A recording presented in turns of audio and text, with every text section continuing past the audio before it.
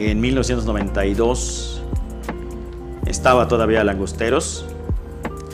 El equipo de béisbol de El Salvador llega a hacer su pretemporada.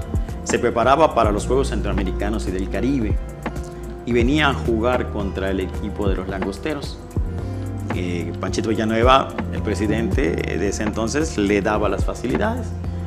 Eh, entrenaban con, con Langosteros y jugaban algunos partidos amistosos con Langosteros.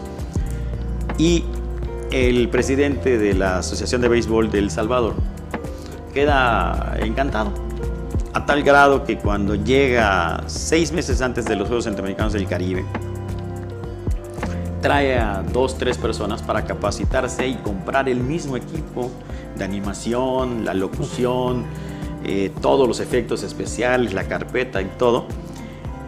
Pero pues este, no, no, no llegaron al, al- al grado de, que, que querían, ¿no?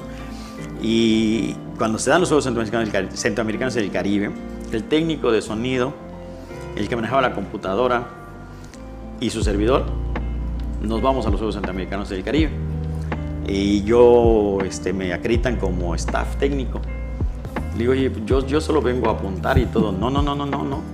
Vas a narrar en la radio de El Salvador y vas a darle un curso a todos los periodistas de anotación. Y, este, y terminé trabajando para los Juegos Centroamericanos del Caribe.